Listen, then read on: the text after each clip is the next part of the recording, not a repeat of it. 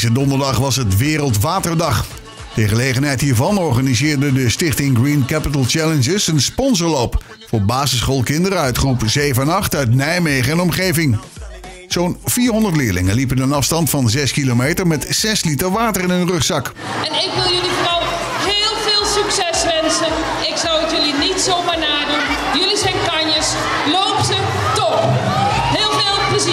Wij wonen in een land met heel veel water en moeten er soms ook tegen strijden. Maar dat is natuurlijk heel anders dan kinderen in bijvoorbeeld Sri Lanka of in Afrika, die heel ver moeten lopen voor dat ene glaasje water. En ik vind het dus heel erg mooi dat deze kinderen gaan ervaren hoe het is om zo'n eind te lopen met zoveel liter water op je rug. En eh, ik neem mijn petje voor ze af. De kinderen vertrokken vanuit cultuurspinnerij de Fasim om via de oversteek naar het nieuwe stadseiland te wandelen.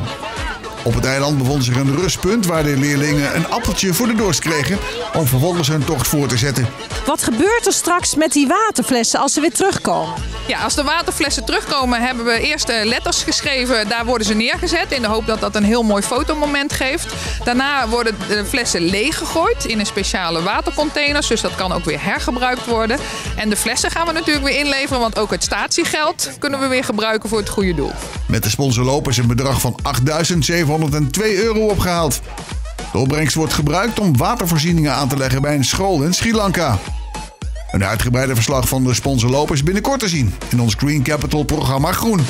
Did your ears pop up when you hear my?